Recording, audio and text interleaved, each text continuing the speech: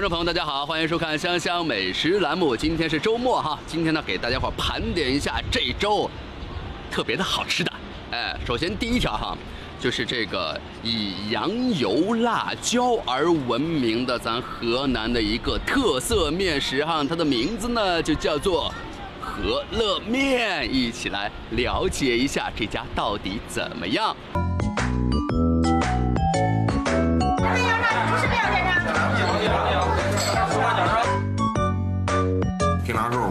都是排队吃饭要找位儿的还找位儿啊？啊，要等啊。有那么夸张？对他他家还是三层啊，但是你有的时候是需要等的。这很正常，经常经常会出现。嗯，就在这附近，经常会过来嘛。那儿生意怎么样？生意每天都很好，就每天的话饭点过来的话就是爆满，得需要排队吧这样。我这凑热闹的天性又冒出来了，说啥面呢？辣椒油还有羊汤都可以。它面特别好，比较筋道。它这汤比较浓，然后香味还是比较可以。这些辣椒的话，我每次来都是必须要放的，啊，辣椒很好吃。羊汤、辣椒、面条筋道，还是咱河南的。总理家乡饸饹面，能吃出来，能吃出来，能吃出来。我操，在家里吃就是这个味儿。哎哎，对对对。要说在郑州，饸饹面满大街都是啊。但是这家的饸饹面它，打着那仨字儿，我都快听绝了。二十八号，你先把那个凉先过来。哇，看一下哈，呃，分两种，经典的和优质的。我这两个差别是什么？就是肉的多少，肉多少对。奢侈一把，今天咱来一个优质的。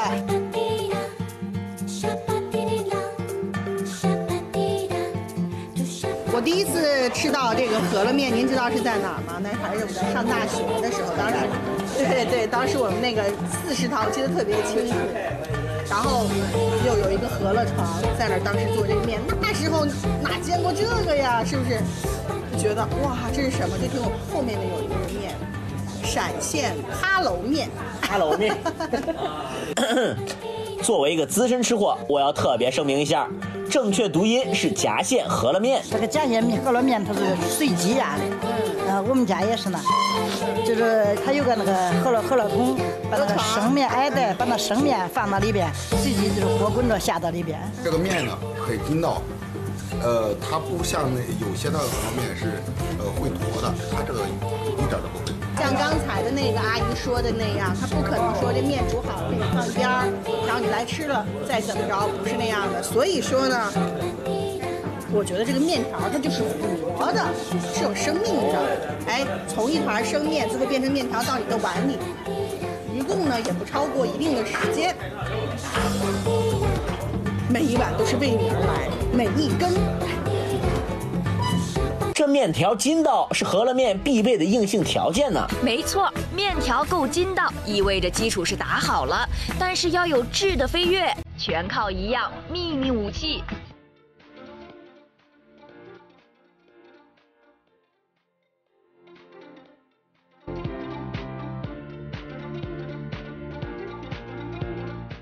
这个辣椒的话，吃着很过瘾。呃，辣，它不是完全的辣感，它是香辣的那种感觉。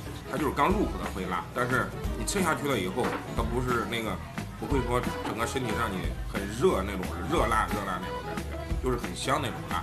每次来都要加辣椒。它就是那种羊油辣椒，就反正郑州这边不多吧，就它这不是夹下那个呃饸饹面吗？它就是那边的。乖乖了，这羊油辣椒想想都觉得油腻腻的。可食客们都说很香啊！我感觉弄明白了这羊油辣椒，也就找到了这家面不一样的地方了。这个辣椒，哎，我就想知道哈，就是在夹县那边，每一家是不是都有自己秘不告人的这种羊油辣椒？呃，我们这个辣椒传承五代了。哦，五代人。五代传承，对。绝对的镇店之宝。那香味主要是羊尾油，羊尾油就五代了，一直就只用这块油。对对对，另外就是那个辣椒，辣椒选用这个颜色比较红亮的，啊，红亮，像这个辣椒也是比较纯正的一些辣椒。哦，这辣椒就是啊，纯辣椒，里面没加别的。没没加别的。嗯，然后这是这就是我们那个秘制的个大料粉。有几十种料在里面的哈，也也是五代的嘛，肯定得有点自家的东西哈。这羊油辣椒的香，一是来自羊尾油，二是来自秘制的大料粉，三是来自五比一配比的芝麻，而羊尾油的膻味儿主要是靠葱姜蒜去除。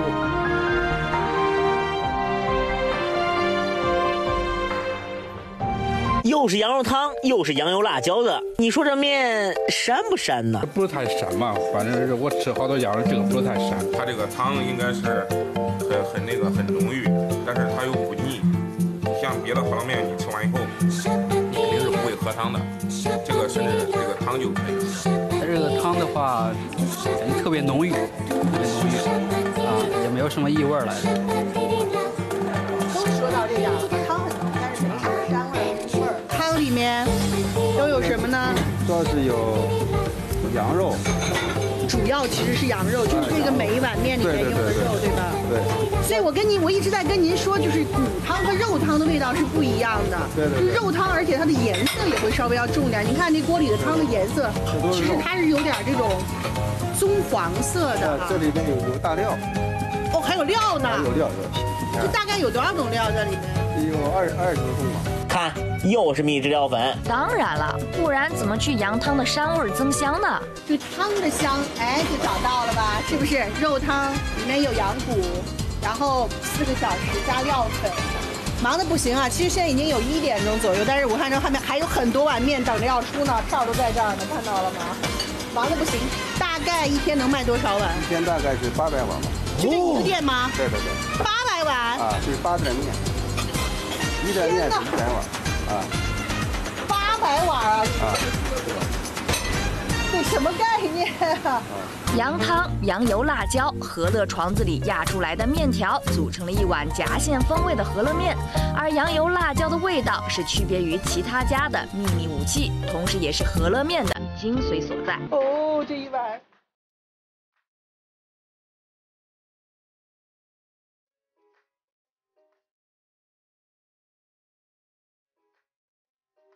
其实咱河南的很多美食哈，都是以汤来打底的哈。当然，所以呢，对河南人来讲哈，汤很关键。你就比如说哈，接下来要给大家伙介绍的这家呢，就是主打的就是汤了。牛肉汤，哎呀，从洛阳来的，每天上百斤的牛骨头哦，一起来看一下吧。导演买这块肉，说句实话，在这儿忒不显眼了，你知道吗？这整个就是一个。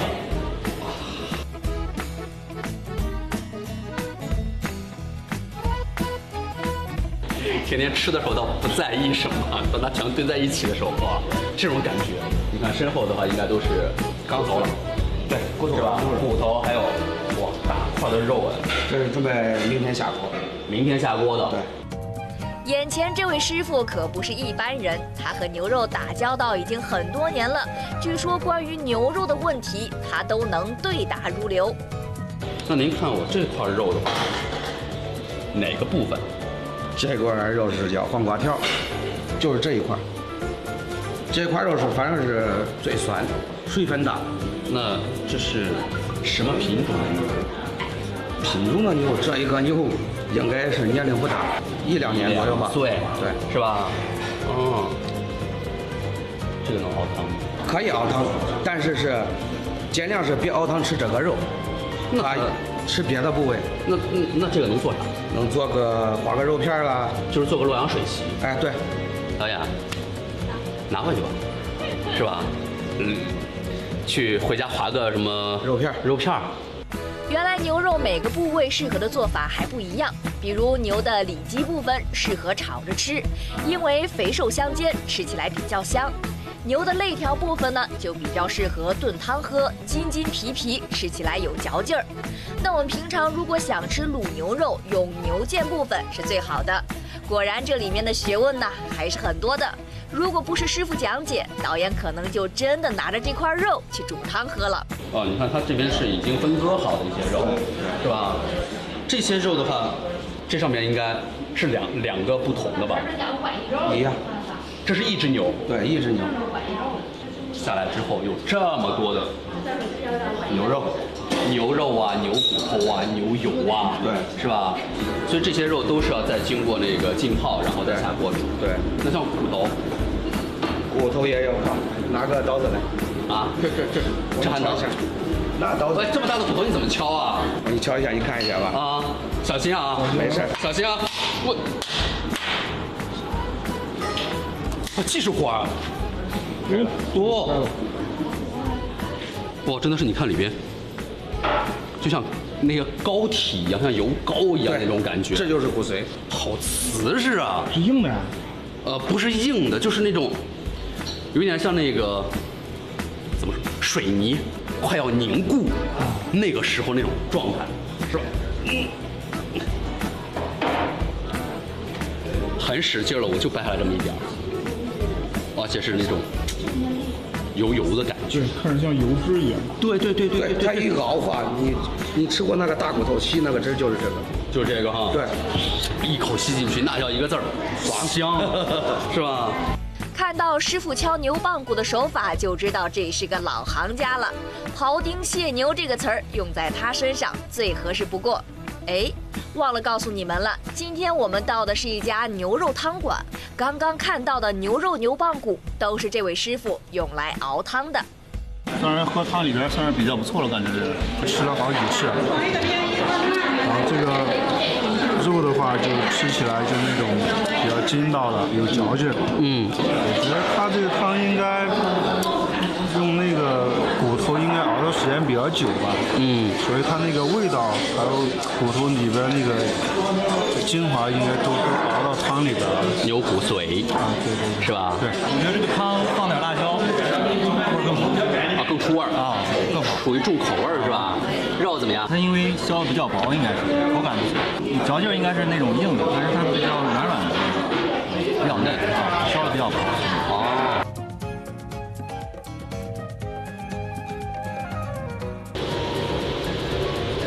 锅有点发呆，你知道吗？嗯，不用锅盖先这个，不用掀，不敢再掏钱了。一米二，啊，直径是一米二的，对，是吧？对，深八十，深八十。呃，这一锅汤，整个下来的话大概有多重？有一吨，一吨，两千斤。一吨的汤，吨多少碗？能舀个七八百万吧，满的话七八百万。七八百碗？对。一天七八百碗？对。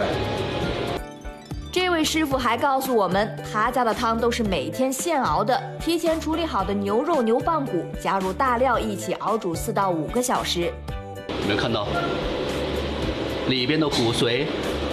是不是已经是软软的，甚至是变成中空的了？哦，有点空了，是吧？嗯。你看它里面有骨头，然后还有肉吗？现在？肉已经捞出来了。哦，肉在那儿。对，是煮好的肉。对。然后呢，先捞出来，因为肉如果煮的时间它是有要求的。你比如如果煮的时间太长，它会酥，片不着片儿。肉的话一般煮多长时间？你看牛的年龄。呃，你比如两岁的。两岁我们用。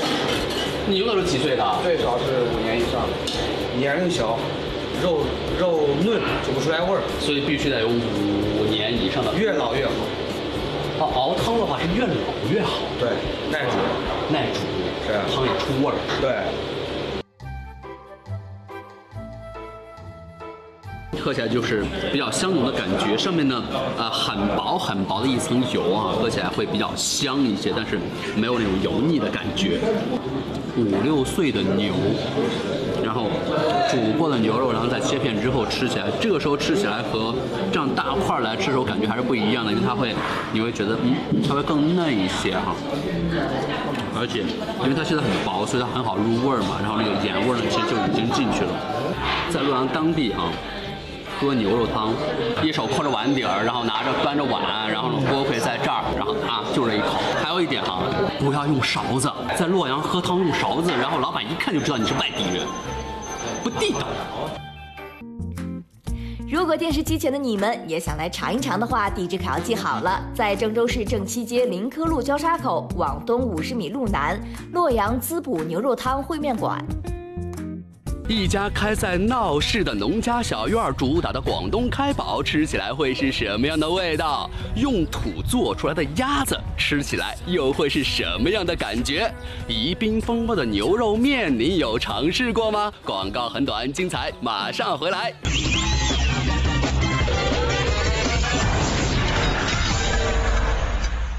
接下来呢，带大家伙呢去尝一家这个农家小院儿哈。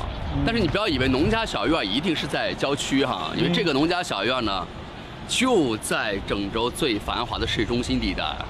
啊，还不一样吧？不一样啊！而且呢，它主打的呢还是广东口味的，比如说臭臭的鹅宝啊，比如说脆脆的生肠喽，一起来看一看。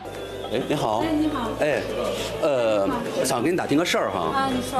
呃，以前咱这叫什么名字？农家小院。呃，换老板了吗？没有啊。呃，换菜单了吗？呃，菜单有所改变。哦，有所改变。对。哦。所以就是说，还是原来那家店。对。那为啥从农家小院改成现在这个名字了？因为农家小院，人家好多顾客进来了，都是吃农家菜呢，哈。啊，谁知道地皮菜、进来了？炒鸡蛋呐。哎，对呀。是吧？啊，地锅呀啥的，谁知道进来一看呢是广东小炒。啊所以说，我既然是这样呢，我们还不用直接改成是吧？广东小馆。原来店还是这家店，只不过是换了名字而已。看来飞哥想提前下班的幻想还是破灭了。这是互留证据啊！他拍你，你拍他。以前来来这儿吃过没？经常经常来这地方，咋样？真不赖啊！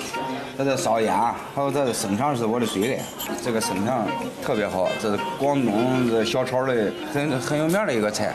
喜欢吃点什么？确实不错。嗯，你像这儿的话哈，就是像光是这些东西，你觉得啥最好吃？来这儿必点了。鹅胃肠啊，鹅包也是。嗯，鹅包。鹅包吃的咋样？吃了一次，还想下一次。能经常来来，说明它好吃嘛。一句去桥头吧，是很多老食客来他家吃饭的秘密暗号。不需要说饭店的名字，也不需要指明今晚吃什么，“桥头”两个字就代表了食客对这家菜馆的熟悉程度。那我们今天也是通过老食客发现了两个很有意思的菜品。啊，稍微带那么一点点臭臭的味道在哈。刚才一端上来的时候，我还疑问了一下，我说这个臭臭的味道，老板直接跟我说一句话，对着呢，就这个味道。那咱们就来尝试一下吧。鹅肉吃起来很利骨，它应该是有提前的一些卤制过的，肉味也很好，有一些嚼劲在。其实它这种呃臭臭的味道哈，真正吃起来的时候啊，这个臭味呢，它就转化成那种香气，你会觉得哎这个味道哎可以一口一口接一口的吃下去。鹅包就跟臭豆腐、臭鳜鱼一样，虽然闻起来很臭，但是却会让人越吃越上瘾。那臭豆腐和臭鳜鱼都是因为发酵才有的怪怪的味道，这个鹅包的臭味儿又是怎么来的呢？鹅宝为什么会有一点点臭臭的感觉？呃，因为我们放了是广东的那边的，就是沙酱，它这沙酱是发酵的，属于食材，嗯，闻的是有点那怪怪的味，是不是？没有放到鼻子上去闻，只是把盖子打开而已。啊，是不是？是不是就闻那个味道？其实它不是你闻的是有那个，但是吃起来没有那个味道。其实它这种臭味，并不是说真正的就是说，呃，食材腐烂啊或者坏掉的那种臭味，它其实是什么？发酵来的。发酵来的，对对。嗯，其实这个是应该是在呃广东那边用的比较多的，呃一种。酱料，酱料吧，对对对，是吧？对对啊，所以主要的那个味道是从这儿来的啊，对对对对对。原来这个臭味儿是虾酱里带来的。那除了这个，他家的鹅肉选材也是非常讲究的。鹅肉的话，应该是有提前有过卤汁，卤汁有有有。呃，提前卤好的。它是用那个广东那种黑中鹅，比如说有些本地的河南那个鹅，它比较肥肥肥油比较多吧？对，它就肥油基本上没没有什么肥油，那个是中鹅。所以这样其实吃起来的时候也没有那么腻。对对对对，是吧？对对对。啊，吃起来基本上一口一口下去之后都是那个瘦肉。嗯，对对。将处理好的鹅肉加入陈皮、丁香、八角等七八种药材，小火微炖四十分钟，提前卤熟，这样上桌的时候吃起来才能更加的入味儿，也更加的软烂。同别的开包一样，这个鹅包吃完以后也是可以自己加涮菜的。如果说第一道菜闻的是味道的话，那么下一道菜听的就是它的声音。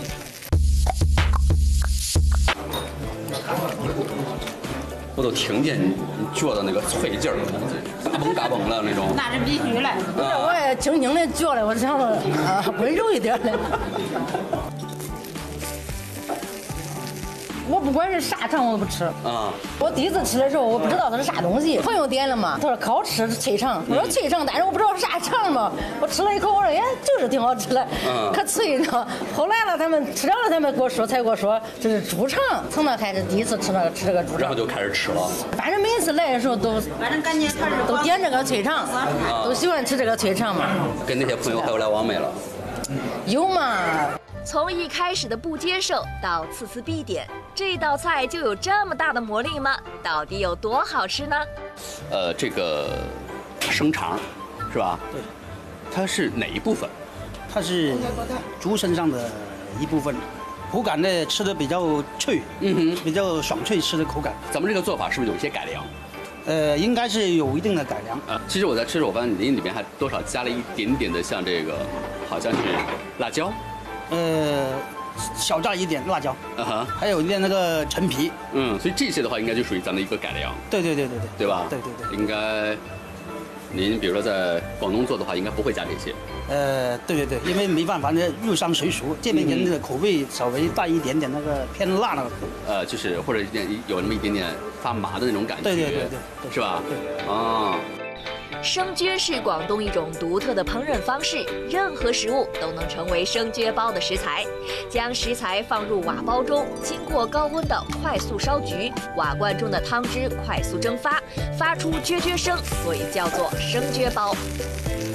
因为它这个呃生焗生肠哈，有这个脆肠它本身的那个味道，就是所谓的原汁原味儿哈。而且吃起来的时候，我觉得这个其实也蛮利口、蛮爽口那种感觉哈。味道呃不属于那种重口味儿的，就属于比较清爽的感觉哈。但是味道是很足的。如果电视机前的你们也想来尝一尝的话，地址可要记好了，在郑州市顺河北街桥路东广州小广。来自苏北的菜煎饼会有什么不同？用通红的铁锅做出来的鸡蛋味道又会如何？广告很短，精彩马上回来。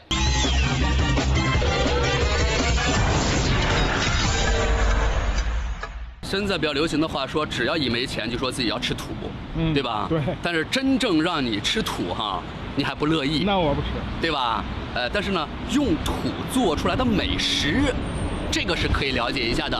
比如说，接下来要给大家伙带来的这个福建的非常地道的姜母鸭，用土做出来的。给这个东西带上，让我睡觉了。那不是让你睡觉了。我了个天哪！有点有点害怕。车票这么走啊？对。大家笑好了，就准备台上台阶了。你好，腥，好腥啊！而且还有菜味儿，就那种生菜的味道。你把我是不是带菜市场了？而且这么热闹，真的是菜市场吧？我能摘眼罩了吗？摘吧，你可以感受一下。哇！菜市场啊，这不是，这是个海鲜市场，好齐全呀，这得有几十种吧？我的妈呀，这是啥？这是啥？这是个啥？牛奶鱼，这条鱼，我天，我没见过这玩意儿。今天我们又来吃大餐了吗？我基本上都有点过，都点过。来这边就吃了，先不然这边来干嘛？一般我们点都是点活的，不点那个冰冻的那种。就是看见啥点啥。对，比较不讲就比较随意嘛。来，基本上每一次吃的都不一样吧。对于咱们这种不临海的城市，对海鲜的事又爱又恨。爱的是鲜美的味道，恨的是总吃不到太多品种或者不够新鲜。今天来的这家饭店说它是海鲜市场，都绰绰有余。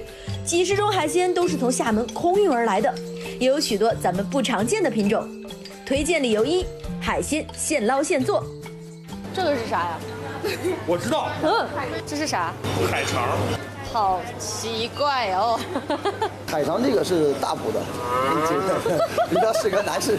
确实，你要是说这些黄花鱼啊，我们以前见过，像台湾板鱼啊什么这种都没见过。对对。包括这玩意儿，我真是 真的 见都没见过。这个鱼得多大呀？这个四十多斤。四十多斤。我们最大的卖过三百斤的，一条鱼三百斤。它一般都是汤清蒸红焖是吧？呃，杀开一块一块卖。这真是没见过。这边对我们来说是属于家常菜，对你们来说不一定。福建菜馆应该都是这样，就是看着食材点餐，没有说固定的菜谱，看哪天哪天新鲜点。五香卷、海海蛎煎这两个是他们的福建特特色。五香卷，还有个卤面是吧？海鲜卤面，这咱这是没有的。就是您是福建哪儿的呀？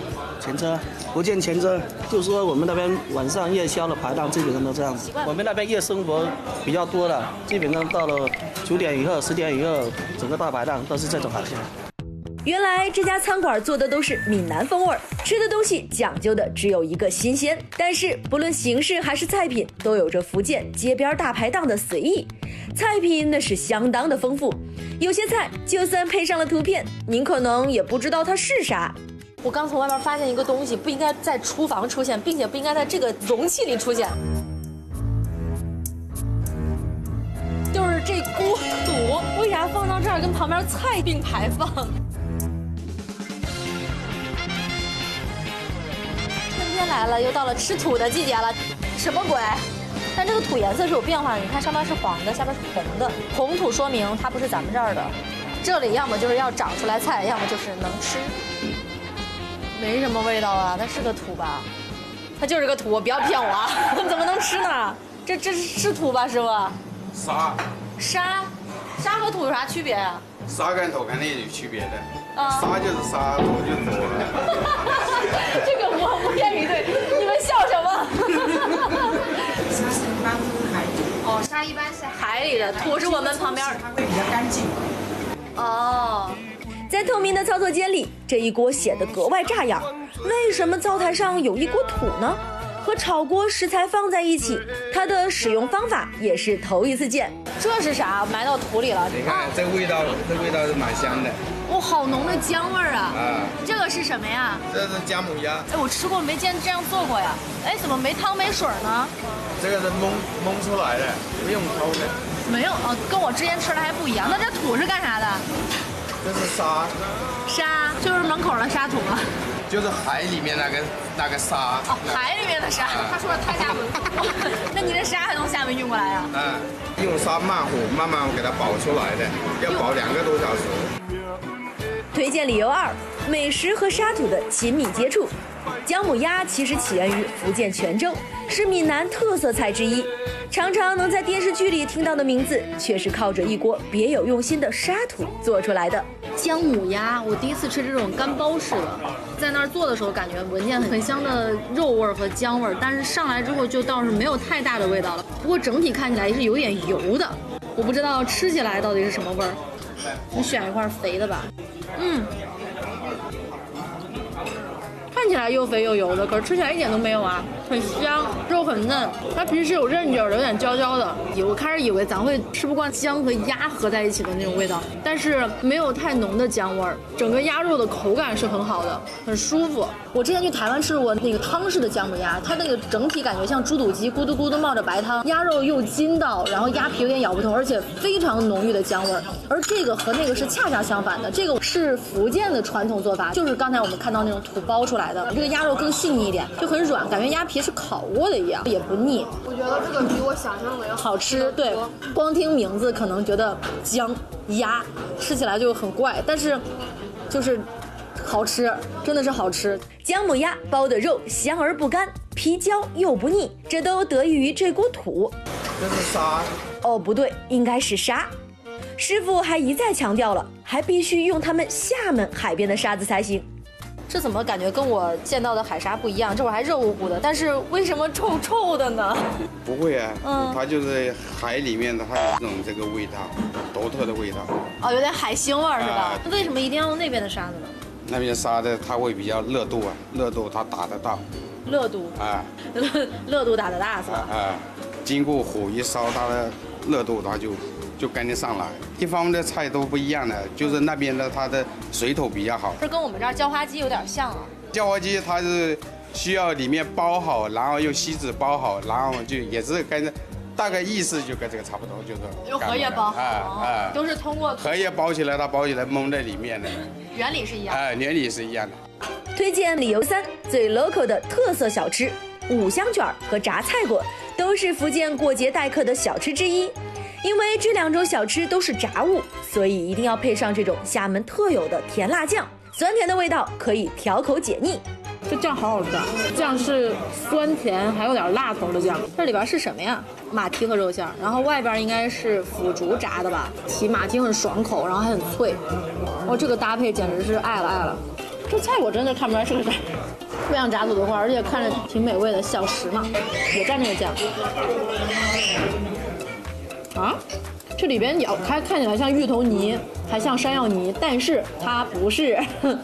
猜猜是什么？其实不是，没那么脆，软软糯糯糯米，里边就是糯米的那种糊糊的感觉。对对对，这两个小吃真的是还不错哎，因为女孩子我觉得一定会喜欢。蘸上这个一定要蘸它这个特制的酱料。除了我们推荐的这几种美食，这家闽南风味的餐馆菜品种类还有特别多，现做海鲜的口味也可以自选搭配。整体价位不高，如果你也想来试试福建大排档的氛围，地址就在郑州市鸿昌街和百福街交叉口东北角闽南酒楼。咱河南人爱吃面哈，所以呢，但凡是个面的品类哈，在咱们河南啊，都是能够找到自己的一席之地的。你就比如说哈，牛肉面。是吧？对。哎，大家伙儿更多的以为应该是在西北那边兰州的会比较多一些。对。但是今天要给大家伙儿介绍这个哈，它是四川宜宾口味的，当然了，也少不了宜宾的燃面喽。不用，我实在吃不了了，求求你，这三碗太辣，我嘴都已经撑不开了。我，这就是你就长那个方便的东西，你看我这满脸的汗，你完全扛不住，我真吃不了。停！导演，你咋不按顺序剪了？胡剪个啥？你不应该先介绍一下我吗？我是老土，想想美食最有才华的摄像编导以及出镜体验者，这是导演让我说的。我对美食的要求除了好吃，就是一定得能吃得饱。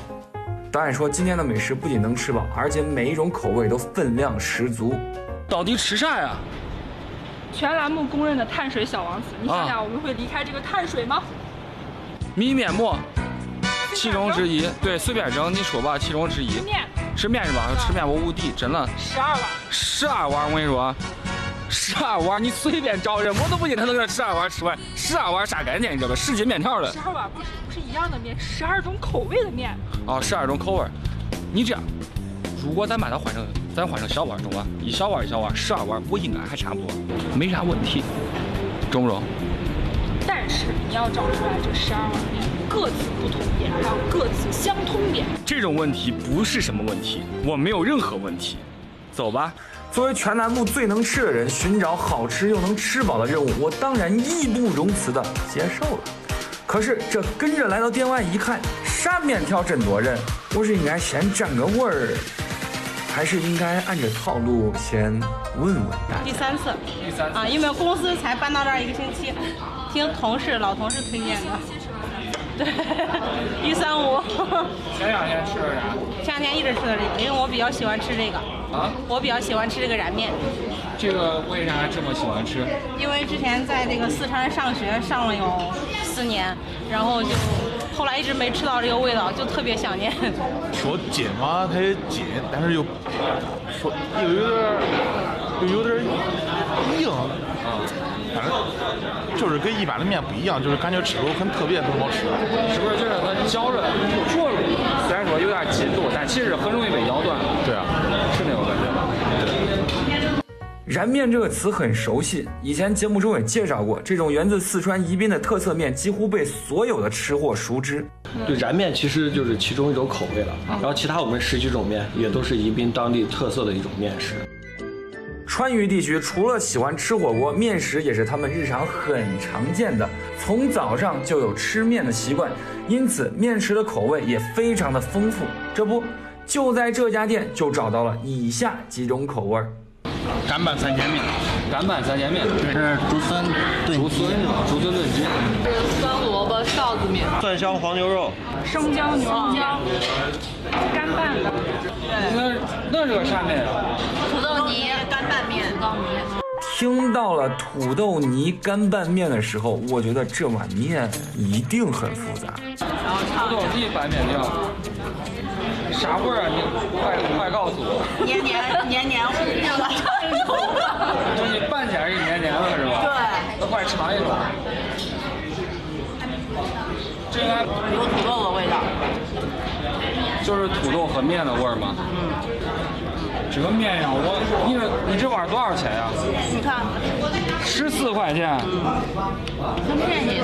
十四块钱有点可惜了吧？连个肉都没吃着，吃的菜还嫩少，全是土豆。导演说的不同之处，说的是口味。数了下，有八种口味的干拌面，四种口味的汤面。至于哪种口味最好吃，有些不好判断。大哥小妹吃的都不一样，但一样的是每碗面的分量是一样的。每次来他们家都吃不完。它这个很实惠，对对，这个是是特意备注的三两面，我专门要三两吃不完。是经常来这儿吃才才会知道他这儿可以对，你看我们我们这个都是有区别的，他那个明显少，他是特意备注的，饭量小，吃不完怕浪费。哦等于说五个人不但口味不一样其实你们的分量也不相同对对。那价钱呢？价钱价钱一样。不打折吧不打送送饮料哦哦哦 就是要要了饮料反正饮料啊对对对对对对对。这个那你在四川那边吃面也是这么大份这么多四两面三两面没这么多一般都是三两一般都是三两那还有还有更少的吗？更少的一般没有。那重庆当地的小面一般不都是一两起卖吗？一两那是那种小面，但是这种话会比较大一点。觉得这边的这种成都这种特色的这种干拌面跟这种重庆的小面有什么区别吗？区别的话，就是它这个你搅拌起来的话，它的料都比较碎，很容易附着到这个面的表面上。这样，对对对，这样你吃起来的话，每一口都是这个味道都非常的充分。啊，重庆小面的话，可能块包括他们那个放的辅料啊，都个头都比较大一点，可能那个味道的话，不能完全挂到这个面上。是时候表演真正的技术了。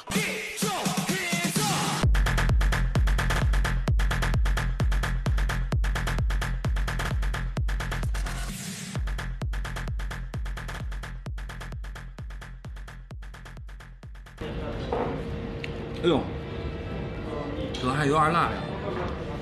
像我这种零零辣度能忍的人，我估计干拌面，它俩干拌面应该都是这个这个口感，就是有点油，但是就是吃出不噎。以后这个其实跟汤面很接近，都让你很顺的就能吃进去。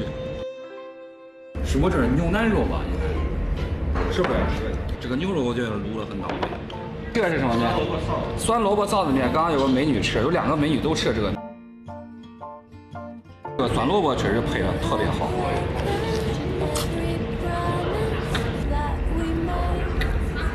没有没有想象中那种酸甜酸甜那种感觉，但就是很腻口。一口面一口卤配到一块吃会，一口臊子配到一块吃会很好。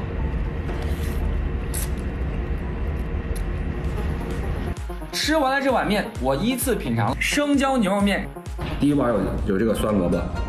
第二碗有这个辣椒小米辣，我觉得这个小米辣要赢过那个酸萝卜。我觉得在这碗里就是恰到恰到好处。一是这个辣椒综合那个油，第二就是啥吧，就主要是主要是这个这个肉面是特别香，这个你拌开之后去闻去吃都很香。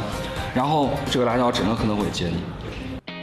没错，这儿的面条很明显的特色就是辣，毕竟它是四川风味，吃了这么多，比较辣的就是这碗。姜鸭干拌面了，姜鸭干拌面可辣可辣，咦，辣回了。姜味第一，辣味第二，但是除了这外这这之外的味儿，就是这个鸭肉和这个卤子就融合到一块儿那种，就是咋说，比其实只要是我在家吃东西的话，我觉得总结就是咸香型和呃咸香型和麻辣型的融合。细碎的小料是宜宾面食的特色，搅拌开也基本都挂在了面条上。巨香，不知道是这个花生是还是应该是这个花生是。这已经是我第三次说这个香味儿，但是这每种香味儿其实都不一样。第一次吃的是它的爸爸这个蒜香牛肉面，对，蒜香牛，蒜香黄牛肉。这个黄牛肉就是啥呢？就是这个这个这个卤整个味儿可香。你就想这是第一香，第二香就是这个，错，第二香是是这个吧？第二香是这个，这个和它这个香味儿也很像。但是因为里面有这个酸萝卜的存在，所以吃起来的味儿是完全不一样的。第三香就是这个香，哇，这个也真的好香啊！那估计这三种其实香的同理，还有一种就是这个料油的香味儿，对，应该是这个面里油的香味儿，真的很解腻。不好奇为啥每一碗面都那么油吗？你不说我还真没发现。现在想了想，这几碗面好像都挺油的，是吧？为啥要放这么多油了？因为我们面是加碱的，出来会非常容易坨，非常容易坨。以后我们必须用我们这些一些秘制的这个清油，在四川那边叫做清油，是用二十多种香料熬成的。然后每一个面要加加一点点清油，然后快速的把它拌开，让每个面条上都吸附到这个油，然后这样它就不会坨得特别厉害。然后再配上我们每一种酱料的这个自己熬出来的炒制出来的油，然后再加上酱料本身，然后拌成我们这个干拌面。里面有香叶。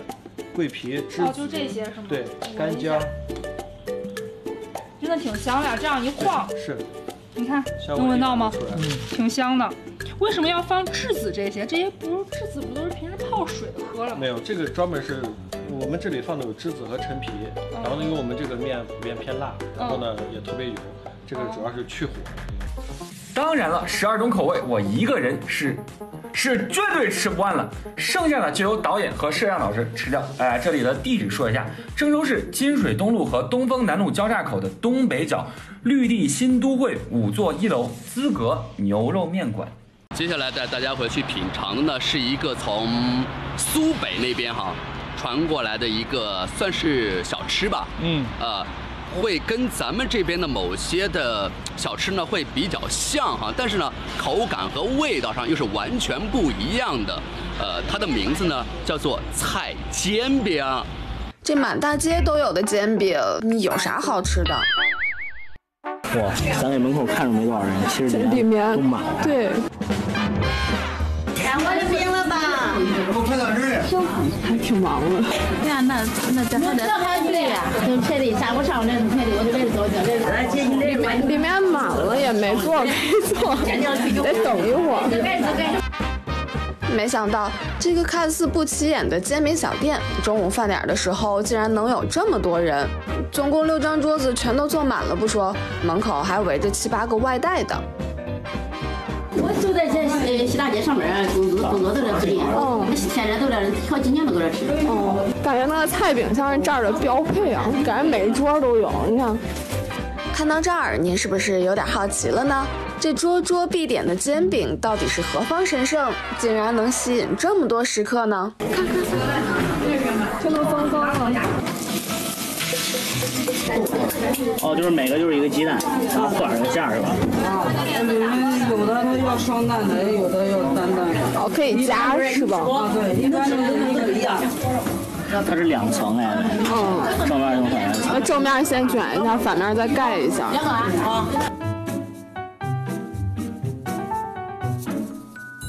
这其实一个就是这么这一桶菜。嗯。还有二两的。四两，四两菜一个。嗯。这是啥酱啊？甜面酱。甜面酱。真像豆皮儿。这所以这到底是啥呀，老板？这这菜煎饼。菜煎饼。菜煎饼是哪儿的小吃？呃，苏北。苏北，南方啊。对，它它是那个山东安。江苏的交界处，三个省的交界处。哦，难怪看着可像那种山东的那种炸大煎饼了。对对对对。虽说是外来的小吃，但仔细一看，形式上其实和我们从小吃到大的菜蟒它出来的菜馍很像嘛，都是用薄薄的面皮儿卷上大量的蔬菜馅儿，在平底锅上煎熟的。可如果你要问这不同嘛？咱这其实就是拿烙馍这个，这不是烙馍，这是煎饼。煎饼，摊的煎饼，你们懂那个鏊子吧？啊，鏊子，啊，都在鏊子上面摊的。这个皮儿看着可筋，是不是？嗯，是，没有筋的。这个皮儿很薄的，你看到吗？哦，感觉敷面膜特些。它不像那个那个菜馍是吧？对，一一圈都有那个死面，这个没有。这个这个哦，全全都包进来了是吧？这个角这里它都有菜。看着食客们吃的这么香，我们也没忍住，一人来了一个。其实我想说，这个更像这个啃叉鸡的这个嫩牛五方。哦，可骚。嗯，这个皮儿好吃啊，它还挺筋道的这个皮儿。对，它外面是焦的，哇，和吃口中间，它中间这个蛋就是特别软，而且很厚实，很有口感。它这个里面比我想象中软多。韭菜、菠菜、红萝卜、豆芽儿、鸡蛋。看着看着其实还感觉还可以。他们家的菜洗的干净，菜洗了可干净了。他菜洗的干净，买的干净，老板娘很讲究，他们家菜家的韭菜买的都不用钱。本以为就是普通的蔬菜常见的搭配，只不过换了种做法。但菜煎饼能在老店林立的法院西街站住脚，还培养了一批忠实的粉丝。馅料上没点要求，恐怕是不行的吧？咱这个菜哈，嗯，是根据季节不同的变化换不同的菜，韭菜呀、菠菜呀、苋菜呀，呃，小茴香啊，就根据这个。那你看，像现在现在这个季节，现在这个季节就是菠菜，最好的那精品菜。嗯，因为我们要是弄那些不太好的菜，你光光摘菜时间可费劲是吧？很很长一段时间。或许在郑州的街头，像这样的小店还有很多，他们没有华丽的装修，没有精致的菜谱。但就是靠着这日复一日、年复一年的手艺，才能征服食客们挑剔的胃。开多少年了？开十七八年了，也是老店。也是老店，就是那边从从头到尾全是老店，非老店，感觉不是老店不好意思在这边混。反正这个鸡蛋，这个筐两筐鸡蛋，将近五百个鸡蛋。这一天卖五百多个，一天卖五百个。老板小给我们秀了一下他的销量。我这是实话实说。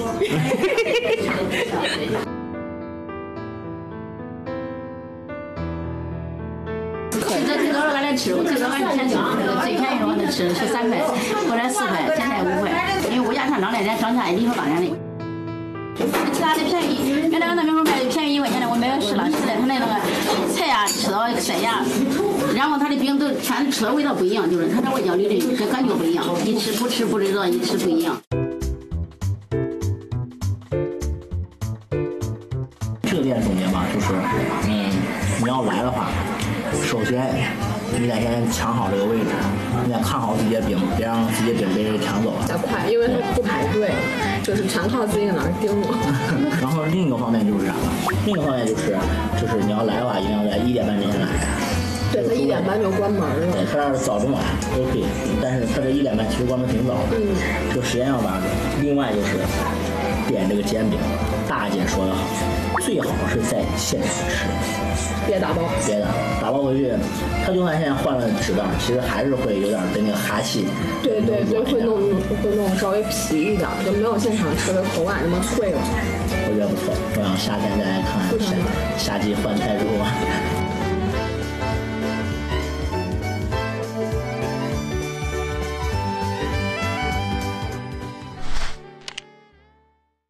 接下来呢，带大家伙儿去见识一下哈，一个老手艺哈，嗯呃，一口特制的铁锅，然后呢再加上鸡蛋，就可以做出来一份让你瞠目结舌的美食。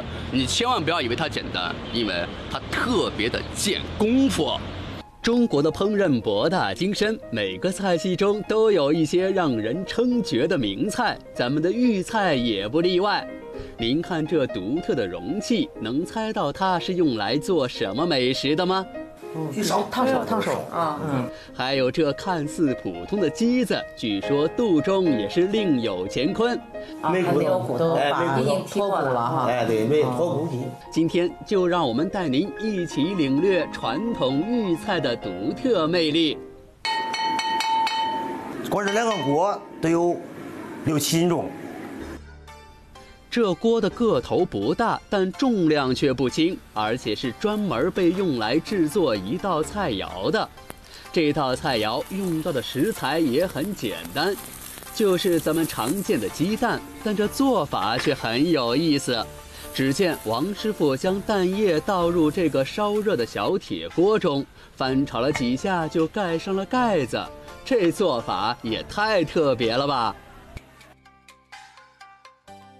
这个鸡蛋是吃过，这个蒸鸡蛋呐，还有煮鸡蛋、卤鸡蛋这样的鸡蛋，这还第一次见，真的是没见过。对，这个叫叫什么什么名字？这个菜名？这是咱这个传统豫菜，就是说这个三鲜铁锅蛋。这上面这个盖子是什么？是是呃，也是个特制的铁锅。我看你在制作的过程中放进去的是生的鸡蛋是吧？啊，对。它就打开以后，它会它会做熟吗？啊，它会熟吗？用通过这个热量？呃，可以的。现在时间差不多，我给你看一下。哇，这个漂亮，真的是啊，真漂亮。嗯，好鲜，好香啊。铁锅蛋有个别名叫长鸡蛋，呃，成功的铁锅蛋都知道吧？鸡蛋做好以后，它会高出这个样。叫长，真的是不一样，非常鲜美。王师傅说，因为在蛋液中加入了虾仁、广肚、鱿鱼等海鲜类的食材，所以鸡蛋吃起来鲜味很足。蘸上用醋和姜调制的料汁儿，味道更是特别，特别的鲜美，不仅还特别滑，特别弹那种感觉。特别是蘸上汁以后，就是还还有那个螃蟹的感觉哈，还有那种海鲜味道，海鲜味啥都出来。吃着这，咱一吃着就跟那个螃蟹黄。哦，现在年轻人很少吃到这个的。对，没错，对对对对，很少吃。我们都没有吃过。铁锅蛋虽然是一道流传了很久的传统菜，但如今经营这道菜的饭店却并不多，因为这道菜虽然看起来简单，但做起来可不容易。别的不说，烹制这道菜用到的铁锅现在就很难找到。它有两个，它要专门还要需要专门制作的盛器来制作铁锅蛋。为什么就一个盖一个锅呢？就是说，它呢就是说上烘下烤，鸡蛋才更嫩。这个锅是生铁的，保温不容易凉，鸡蛋才能成熟。除了这特殊的锅，做这道菜最难掌握的就是锅烧的温度了。这两个锅都要同时烧，这个烧基本上都烧红了。因为温度太低的情况下，鸡蛋是生的，不容易变熟；烧时间长了，鸡蛋容易老。啥叫老啊？都说鸡蛋发黑了。只有锅的温度合适，鸡蛋才能色泽金黄，表面胀发，口感软嫩适中。而这靠的都是厨师多年的经验。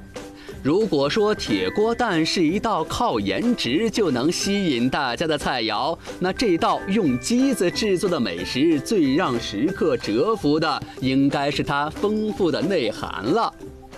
你吃过这菜没有？这个不就是清炖鸡吗？以前好像经常吃这个鸡汤啊，喝这个鸡汤啊。看着这是个整个的鸡，但是这整个鸡在别家也都能见得到呀。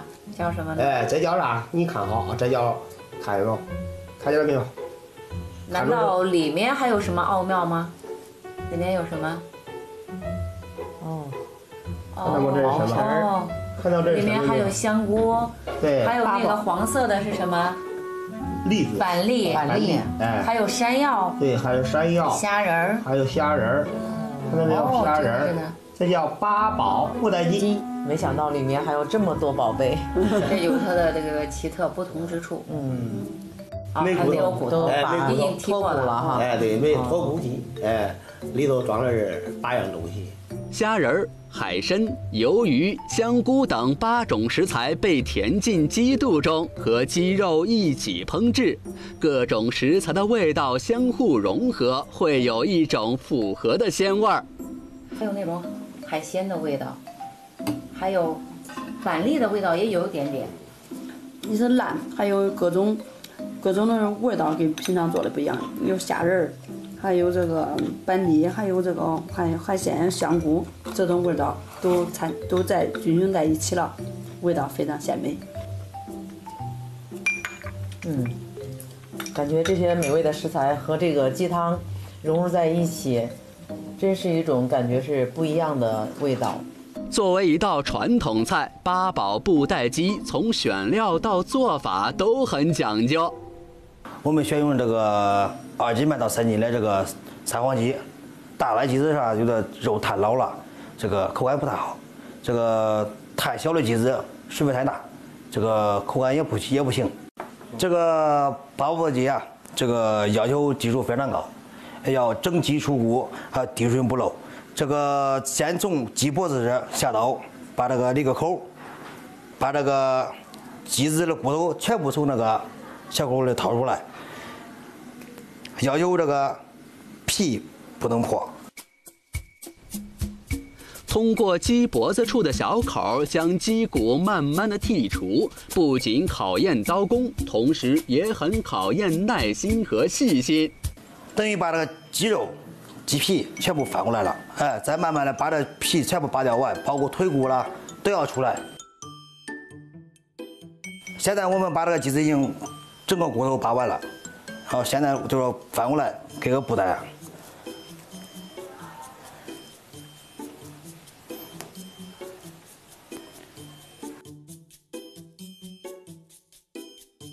现在我们开始倒水啊，要求它滴水不漏，跟我们平常用的口袋一样。剔除了骨头的鸡子灌入水之后，还真像个口袋。通过鸡脖子处的小口，将虾仁、海参、鱿鱼、黄肚、香菇、板栗等八种食材填入鸡肚中，这道菜就成功了一大半儿。这个下一步鸡子要上火肉，就是紧一下，紧一下。这个为啥为什么要紧一下呢？就是这个鸡子不紧的话，直接蒸的情况下，它容易破皮儿，容易烂。这个紧就是放气。把这肚鸡肚子肚子里边的气儿放出来以后，它就不用裂了，这个保证它的外形不烂。现在我的鸡子紧好了，现在要上笼蒸。这碗底放的有葱姜，还有当归、黄芪。加入盐、高汤等调料，入笼蒸三四十分钟，这道八宝布袋鸡就大功告成了。如果您有机会来到开封，不妨尝尝这些传统的老味道。您现在收看的是河南广播电视台民生频道。